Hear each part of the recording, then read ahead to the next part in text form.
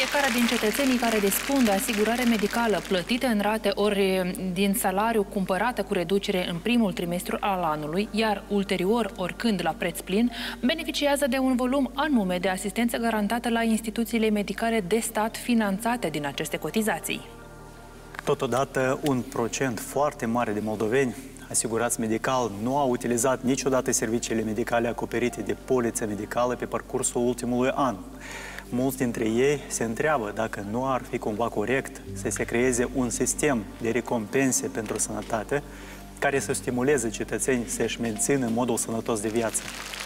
Din cei peste 2 milioane de cetățeni asigurați în anul 2021, aproape 875.000 au fost persoane angajate. Mai mult de 65.000 de cetățeni s-au asigurat în mod individual. Totodată, numărul persoanelor asigurate de guvern a înregistrat anul trecut un milion și jumătate. Acestea sunt cifrele oficiale pe care le-am primit din partea Centrului Național de Asigurări în Medicină referitor la persoanele asigurate anual. Cadrul normativ legislativ actual nu interzice. Deci partea bună ar fi că nu există prevederi legislative care ar interzice expres folosirea sau oferirea cărorva recompense pentru faptul că pe perioada anului calendarist statistic, persoana nu a utilizat sau nu a activat polița de asigurare medicală. Domeniul medical, asigurărilor medicale, este reglementat de trei acte normative de bază. Legea cu privire la asigurare obligatorie de asistență medicală reglementează domeniul asigurărilor, cine este asigurat, care sunt categoriile de persoane care nu achită polița medicală. Asta prevede prima lege. 2 este 2002, legea din 2002 cu privire la mărimea, modul și termenele de achitare a polițelor de asigurare medicală și ultimul este legea fondurilor asigurărilor obligatorii medicale, dar este o lege care se aprobă în fiecare an, deci ultima lege este, ea se reactualizează în fiecare an și ea stabilește cât achităm de fapt pe anul uh, viitor și care sunt categoriile de persoane care beneficiază de reduceri. Avem și un articol care sunt drepturile persoanelor asigurate. Noi, ca persoane asigurate care achităm prima de asigurare, nu beneficiem de careva recompense pentru faptul că pe parcursul anului nu am activat polița, dar noi am achitat-o integral. Deci nu este un drept a persoanei asigurate. Da? Ar putea fi introdus, nu este interzis, dar totuși articolul 11 din lege nu prevede dreptul de a beneficia de careva recompense pentru faptul că nu activăm polița de asigurare medicală. Părerile oamenilor referitor la polițele de asigurare medicală obligatorie sunt împărțite. Interesez în fiecare an, fac controlul medical anual și desigur că polița de asigurare mi de mare folos. Care nu are poliță și procure pe la 1 aprilie, fiindcă ea într-adevăr e de folos. Medical. Nu am. Și nici nu o procurați? Sigur că nu, că acum ea nu se folosește în spitale. Dar până acum și nu foloseați. Nu. Să aibă o posibilitate ca el să singur să decidă. Vrea el să procure această poliță medicală, da? Ori el nu vrea, dar va achita acest medicament sau serviciu. Alții și-ar dori să primească ceva în schimb în cazul în care nu folosesc polița medicală pe parcursul anului. Aș opta pentru sport, pentru îngrijire. Poate ceva un sanatoriu de profilaxie, de exemplu, pentru, chiar și pentru familie. O sală de sport, cu siguranță. Dacă nu ați folosit, da? Da, aș da pentru cineva. Să avem o parte din servicii, fără nicio poliță de asigurare, să le avem gratuit, garantate de către stat. Informația despre toate serviciile medicale garantate de stat este voluminoasă și deseori prezentată într-un limbaj mai greu de înțeles pentru nespecialiști. Iată de ce astăzi alături de noi se află Adrian Jucican, director general adjunct CNAME, pentru a discuta despre situația moldovenilor care dețin poliță de asigurare și nu au utilizat serviciile de sănătate. Ar trebui sau nu aceștia să fie recompensați? Domnul Jucican, bine ați venit ca doctorii! Bună ziua și mulțumesc pentru invitație. O, un subiect tare aprins și tare discutat uh, inclusiv pe rețelele de socializare, pensii, uh, polița uh, de asigurare. Uh, cum stau capit moldovenii la capitolul asigurare în sănătate? Întâi de toate, îmi permiteți să încep cu o remarcă uh, că din anul 2018, din vara anului 2018, termenul de poliță de asigurare obligatorie de asistență medicală a fost exclus. El nu mhm. mai este. Deci, propriu zis, sau simplu vorbind, polița pe hârtie da. nu mai este. Este exclusă. Deci, în acest context, legea de bază cu privire la asigurare obligatorie de asistență medicală a fost modificat termenul de poliță de asigurare obligatorie de asistență medicală sau a fost, mai bine zis, substituit prin sintagma statut de persoană asigurată. Uh-huh. Desprindem din acest sistem câteva nuanțe importante. Deci, de la fiecare plătitor de prime de asigurare obligatorie de asistență medicală, fie că este vorba de contribuția procentuală din salariu sau că fie că este vorba de prima de asigurare în sumă fixă, se ia după uh, volumul de venit sau în raport cu veniturile sale, este stabilită această mărime a primei de asigurare sau o contribuție, mai bine zis, asta este, face parte din acest principiu al solidarității și doi, atunci când intervine riscul asigurat de sănătate al persoanei asigurate, să-i se acorde întreg, întreg spectru de servicii și ne, după necesitățile lui reale. Deci, de la fiecare, cam e un fel de uh, definiție a comunismului, dacă mai țineți minte pe, pe timpuri, de la fiecare după putință și fiecare după necesități. Păi uitați-vă, cam aici e tot aceeași. Deci, dar principiul acesta nu este un principiu, ca să zic, născocit sau născut de uh, Republica Moldova. Este un principiu preluat din sistemul Bismarck, care a fost implementat de către cancelarul german Otto von Bismarck la finele secolului XIX.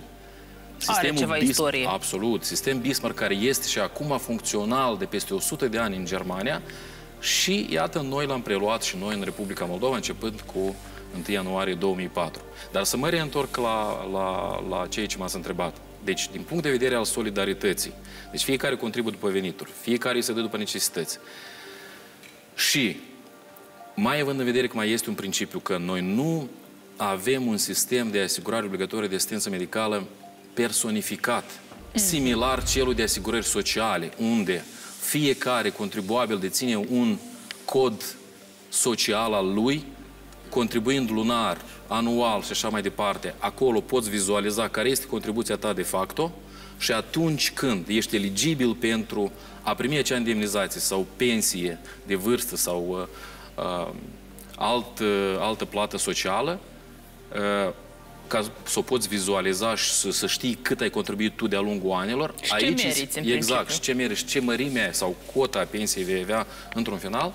În sistemul nostru evidența nu se duce personificat, ca să fie clar. Vreau să ajung la asta, dar exact, ați anticipat. Exact, mai simplu vorbind. Deci, și la începuturile uh, uh, punerii bazei sistemului nostru, era o definiție simplă și uh, pe înțelesul tuturor. Cel tânăr sau banul celui tânăr urmează să meargă pentru tratarea sau tratamentul, pentru ajutorarea, simplu vorbind, a celui mai în vârstă, ca să nu zic mai bătrân, și cel sănătos să îl ajute pe cel bolnav sau care a nimerit într-o situație complicată cu sănătatea. Simplu vorbind. Ok, eu ca om asigurat, dacă nu am beneficiat uh, de servicii, uh, oare nu ar fi mai ok ca acești bani să fie cumva investiți în ceea ce se numește medicină preventivă? Ar exista vreo posibilitate ca banii contribuabilor, care iată, nu au avut nevoia să beneficieze de, de, de servicii, să fie investite în medicina preventivă? Deci dacă ți-ai asumat anumit principii, cum am spus, solidaritate, contributivitate, egalitate, transparență și multe altele, trebuie să mergi după ele. Dacă tu deraiezi de la ele, atunci sistemul se distorsionează. Deci asta, în primul rând, vorbim de legalitate. În al doilea rând, de realitate. Cât este, cât este de real? Clar că este trebuie de intervenit la nivel de politici de stat. Exact. Noi exact. înțelegem. Uh, într-un fel sau altul, ar trebui să dăm peste cap tot sistemul la nivel politic, prin modificare și revizuire totală a cadrului normativ în vigoare, care gestionează domeniul nostru de asigurare obligatorie de asistență medicală. Este o temă de discuție. Putem să o inițiem pe diferite platforme, inclusiv și cu participarea factorului non-guvernamental a asociațiilor obștești, din domeniu și nu numai, pe cum este și IPREU, care, care uh, generează reforme uh, europene sau politici, se, are o expertiză pe domeniul politicilor și reformelor europene.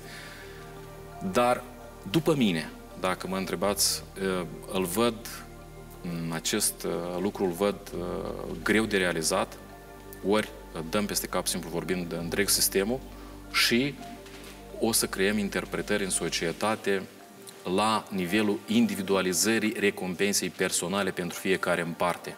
Cu cât am contribuit eu, cât nu am valorificat parcursul anului, trebuie să ai o evidență informațională, trebuie să ai niște servicii informaționale care să fie integrate, să comunice unul cu altul, atât la nivelul de asistență medicală primară, atât la nivelul de e, e, medicină specializată de ambulator, atât la nivelul de asistență medicală e, spitalicească, la serviciile de înaltă performanță. Ele între ele trebuie să comunice, ca tu să ai o evidență strictă, să ai o monitorizare, monitorizare pe măsură care să-ți ofere uh, asemenea date cu care tu să poți opera și, într-un final, să ajungi la așa zisa recompensă care trebuie să o traduci în ceva. Zic să vorbim un pic și despre drepturi. Care sunt uh, drepturile unei persoane care e bifat acolo asigurat? Ce și ține de drepturi pentru persoane asigurate, am să încerc să le numer pe cele mai importante.